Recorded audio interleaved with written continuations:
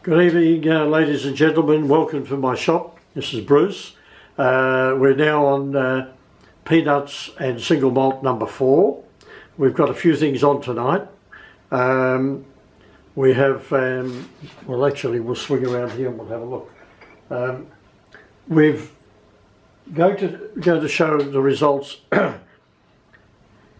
Marcus Wilson has uh, has made up a lantern not this one, but he's made a lantern which resembles this, but has a long slot in it, uh, to go on the um, the, soc the Zocca 500, um, and that he's put into Emma's Emma Ritson's um, uh, contest.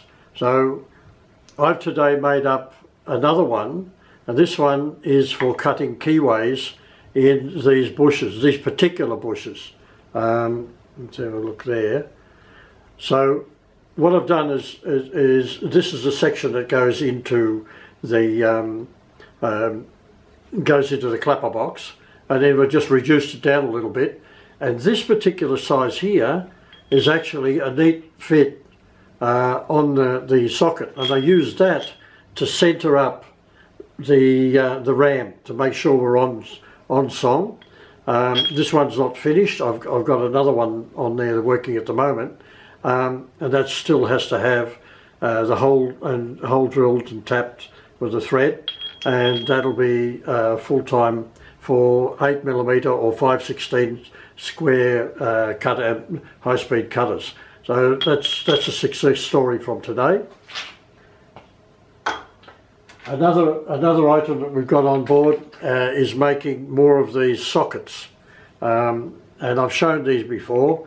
And these are sockets uh, for, for closing, opening and closing these special nuts that I make for impellers. So I take a regular impact socket and then I machine it. And I've got one on the, on the mill at the moment behind me here. Uh, I'm milling it out to, um, to make that um, to make those extra ones. Part of the, when, when I mill these out, part of what I have to do is to make another socket that goes over that and then I weld it, I, I TIG weld it up uh, to give it stiffening for the very thin edge here. So that's just another one. I've got more of these uh, test test tubes to make. They're different with different sizes here, hole through the centre, uh, an Ito air connector and uh, this one's an M16 but they're all different types for doing a lot, quite a lot of testing. Um, the um, the other thing is I can't show you the whole job, but uh, I have spoken about uh, having to machine some titanium or titanium, titanium, um, and it was the first time for me.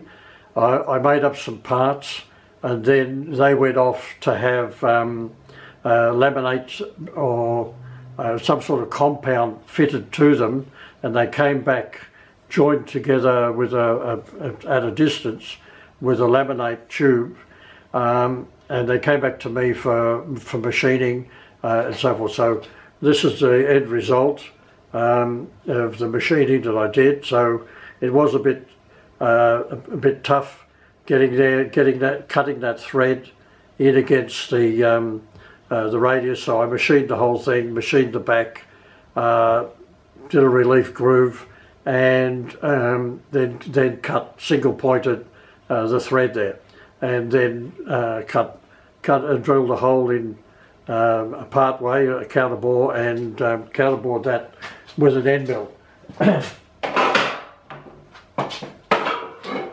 I can't, I can't tell you any more. It was an experimental job. It's the first time I've worked with uh, titanium, and I must say that um, it was a challenge, and, and we got through it, and and and, uh, and came out the other side in a good condition. Now the other thing that I'm making up, and I've shown these before, is these long sockets. And what I do is I take a uh, an impact, a, a deep impact socket, I cut it and I then and and then machine up and counterbore some uh, or clean up and counterbore some uh, Schedule 80 extra strong pipe and I use that to connect the two together. So I'm going to show you the jig I've made up this time. Normally what I do is I make them so that they're fairly tight fit, knock them together, put a bolt through them, tighten that bolt up so that everything's true, and I then um, and I then TIG uh, spot weld them I had a couple of spots with the TIG, and then I do the full welding after that. So I'm going to show you now the jig that was set up today, and um, and how how that operates. So I'll just swing around here to the welding table. We'll take her down and see if I can see what's going on here. Um, I'll just bring that in a bit more maybe. Okay, so so what so what we have is we have the, the tube counterbore both ends uh, quite not so deep uh, and the sockets once I've cut them I've cut them off I then machine them back deeper. The idea being that they'll fit in both both ends will, will fit in like that. Fit in. And then I'll, I'll TIG weld them and I use this thin wall. I have uh, because I've limited it only to 5 millimeters deep or so about 316 deep and this is longer this is uh, uh, 16 uh, 11 mil deep. So then what I do is is I TIG weld them and um, and actually this this thin part here becomes the weld metal. Now, in order to make sure that I get them nice and straight, then I've made up, we've made up this jig today. Troy actually helped me out here. Um, we made up this jig, and so we put we put the two ends in, drop it into the jig, clamp it down, and also clamp it down here. So there's nowhere for it to go. I can then set up and I can I can TIG, TIG weld uh, a couple of spots uh, and then once I've done that I store them over here.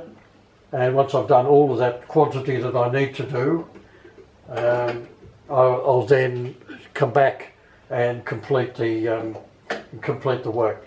And the beauty of this is that I've got this adjustable end here. Let me come in a bit closer.